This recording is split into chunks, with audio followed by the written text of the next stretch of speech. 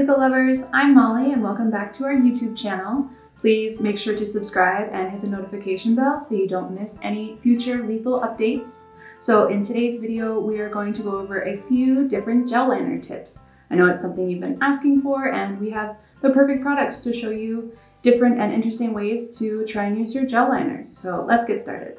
So today I have five tips for you on how to use gel liner and tip number one is that this formula tends to be really creamy and waterproof, so that makes it perfect to apply to your waterline so it really sticks, doesn't budge, and gives you a lot of pigmentation to complement your eye look. So this is what Aux looks like in the waterline. It's a really beautiful mint color and it's not going to go anywhere once it dries. So tip number two is that you can actually use the gel liners as an eyeshadow base and it will really intensify the pigmentation of whatever color you put on top of it. So if you put our white buffer down when you're doing an eye look and then you put a, a bright pastel shade over top, it's gonna really pop and be super bright and really stick to the base and not budge. So Tip number three is super fun and unique and it's actually color mixing. So you can take any shade from our gel liner collection and mix them together to create your own special shades. So if you consider a color wheel and you look at all of the colors here, if you think of shades that are closer to each other and mix those, you're going to get something that's really beautiful and a very unique kind of in-between shade, maybe between green and blue. But if you take something that is opposite itself um, and mix it, you might get more of a brown shade, which is still useful, but just keep that in mind when you're mixing your gel liners. If I mix these two shades together, I have amplitude and stereo here, I'm going to get a kind of lighter, more soft version of this bright orange. Tip number four comes down to what tools you're using to put your gel liners on.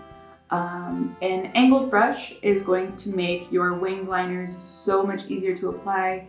It kind of creates that sharp line for you and you don't have to do so much work to get the shape and sharpness of the line that you want. If you want to go for a fluid, more flowy line, a brush that is thinner and longer is going to give you more control over making those curvy shapes. It's really good for those graphic liner looks or doing any kind of detailing and face drawing. The fifth and final tip for this video is that you can actually use our gel liners as a face and body paint. So in this look here, I used Bitcrush analog, stereo, and equalize to create the shapes and colors. Um, they were so easy to work with and it was really blendable and everything stuck in place and the look lasted forever for me. So it's a really creative and fun way to use your gel liners and you know, there's no limits when it comes to putting color on your face. So I hope you enjoyed these gel liner tips. I hope these were useful and helpful for your looks and that they inspire you to experiment with some colors.